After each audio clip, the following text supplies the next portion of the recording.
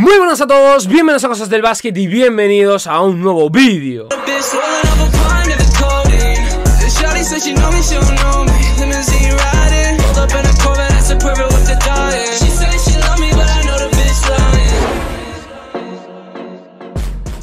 En el vídeo de hoy no vamos a hablar del partido en sí entre Phoenix Suns y Los Ángeles Clippers, ni tampoco de cómo, bueno, pues me pareció el partido que se marcaron Chris Paul, Devin Booker, de Andre Ayton, Zubac, Patrick Beverly o por ejemplo Paul George, ni tampoco de la última hora sobre Kawhi Leonard, que ayer por cierto volvió a ver desde la grada el partido de su franquicia, de su equipo. No, Hoy vamos a hablar de la polémica que ha habido en el partido y de lo que más se está hablando. Esa jugada entre Cameron Payne y Nicolás Batum donde finalmente los árbitros no revisaron, la posesión fue para Phoenix Suns y esto favoreció al conjunto de Arizona para llevarse el partido. Muchos estaréis a favor, muchos estaréis en contra, pero lo que es una realidad es que mucha gente, aparte de los Clippers, muchos fans de la NBA se están quejando de esto y sobre todo si lo comparamos con el segundo partido. Antes de todo os pongo en situación. Hay que tener en cuenta lo que sucedió en ese Game 2, en ese segundo encuentro de las finales de conferencia oeste entre Phoenix Suns y Los Ángeles Clippers. Porque hubo mucha gente en ese partido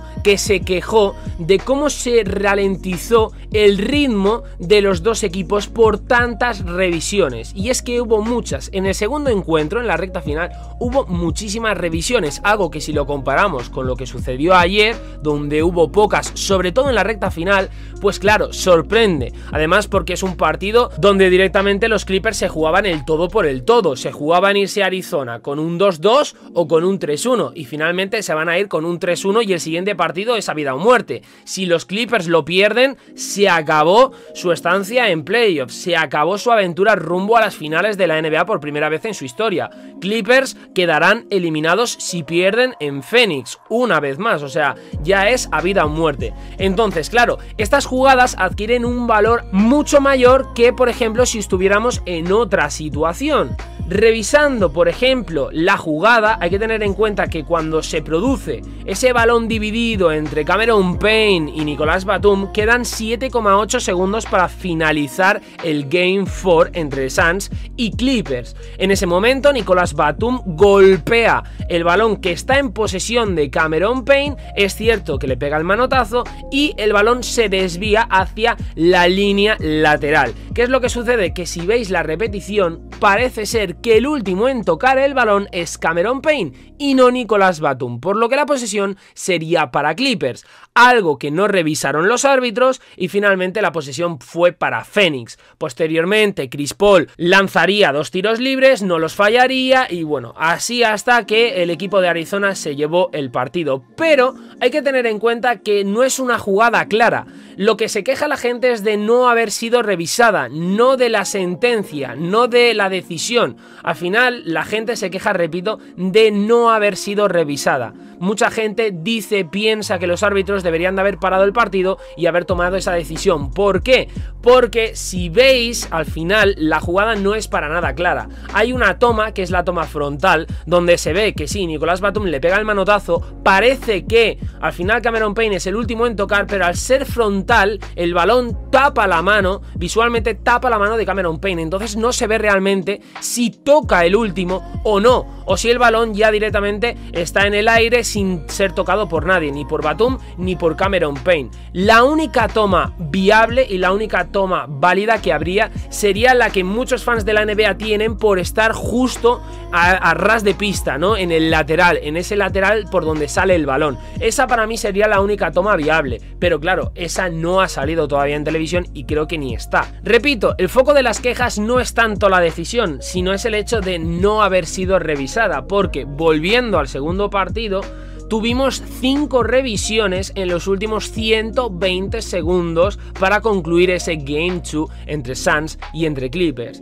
5 revisiones en 120 segundos. Y una de esas 5 revisiones fue una jugada similar a la de Cameron Payne y Nicolas Batum. Una jugada que tuvo dos protagonistas, Devin Booker y Patrick Beverly. Un Devin Booker que a falta de 9,3 segundos para concluir el segundo encuentro, driblaba a Patrick Beverly, que era su defensor por parte de los Clippers, golpeó el balón, Patrick Beverly, y los árbitros revisaron la jugada y se dieron cuenta que el último en tocar fue Booker, por lo que la posesión se quedó en manos de Los Ángeles Clippers. Posteriormente, en rueda de prensa tras el Game 4, tras la derrota de los Clippers, Tyron Lue dijo esto: Cuando se llega a la recta final de un partido cerrado como este, creo que hay que comprobarlo para estar seguro, y no lo hicieron. Aparte, los Clippers se quejan de otra jugada que para ellos está mal arbitrada, que es una jugada entre Michael Bridges y Terrence Mann. Terrence Mann se dispone a realizar una bandeja o un mate a dos manos y Michael Bridges le pega un golpe en el brazo. Entonces, bueno, los Clippers, como digo, también se quejan de esa jugada por estar mal arbitrada. Claro, aquí dejando a un lado el tema polémicas, eh, creo que la NBA tiene un problema y sobre todo los árbitros en cuanto a los fans y la perspectiva de los fans. Es decir, si revisan mucho el partido, si revisan muchas jugadas en la recta final para asegurarse, va a haber quejas de los fans porque se ralentiza mucho el ritmo del partido, se para mucho y eso no se quiere. Pero si no se revisa y no se ralentiza el partido, va a haber quejas porque no se han revisado ciertas jugadas polémicas que podrían haber decantado la balanza para un equipo diferente con el que, por ejemplo, se beneficia al tomar la primera decisión. Claro, aquí entonces ¿con qué nos quedamos? Creo que también los fans debemos de poner un poco las cosas más fáciles, en el sentido de, bueno, yo entiendo que si se deben de asegurar, se para el partido 5, 7 o 20 veces, las que hagan falta, pero al final el objetivo es que el partido esté bien arbitrado. Prefiero que se pare 20 veces, pero que se pite bien, a que se pare una sola vez y se pite mal.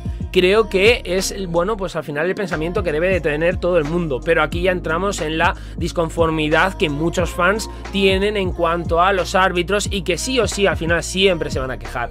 Paren mucho el partido, no lo paren, revisen jugadas o no las revisen, siempre, siempre, siempre va a haber un pero, siempre, siempre, siempre va a haber un motivo por el cual se puede quejar uno. Esto es así. Y por otra parte, volviendo al tema series Phoenix Suns Los Ángeles Clippers, es lo que he dicho, ya da igual, no se va a cambiar, es lo que comenté ayer con la llamada de Tyron Lue a Paul George, no se va a cambiar ahora esto, ya la actuación arbitral es la que es, se ha pitado como se ha pitado y los Phoenix Suns han ganado 84-80, entonces ahora mismo las series están 3-1, esto, repito, no se va a modificar y los Clippers ahora mismo tienen ya partidos a vida o muerte. Veremos a ver si pueden hacer una gesta parecida a la de Cleveland Cavaliers con Golden State Warriors en 2016. Pueden levantar un 3-1 veremos a ver. Lo que parece seguro es que si lo hacen, lo van a tener que hacer sin Kawhi Leonard, porque, bueno, pues prácticamente se da por hecho que no va a viajar para el quinto partido en Arizona, se va a quedar en Los Ángeles con esa rehabilitación. Yo ya lo dije, yo creo de verdad a Skip Bayless y me creo cuando dice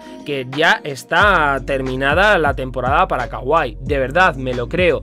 Viéndole ayer otra vez y luego también el gesto, eh, sobre todo la manera de defender, bueno, mejor dicho, de no defender Tyron Lue a Kawhi, de verdad, eh, yo me creo la versión de Skip Bayless. Dicho esto, chicos, espero que os haya gustado el vídeo. Si os ha gustado, darle like, suscribiros, comentarme qué opináis acerca de todo esto, qué decisión hubierais tomado vosotros, hubierais parado el partido, no, y a favor de quién hubierais pitado, a favor de Suns o a favor de Clippers, tanto en la de Terrence Michael Bridges como en la de Batum y Cameron. Os lo pregunto, dejármelo por aquí abajo. Y también contestarme, ¿creéis que los Clippers van a levantar ese 3-1 o van a caer eliminados mañana? Todo ido por aquí y nos vemos en próximos vídeos aquí en Cosas del Básquet. Adiós.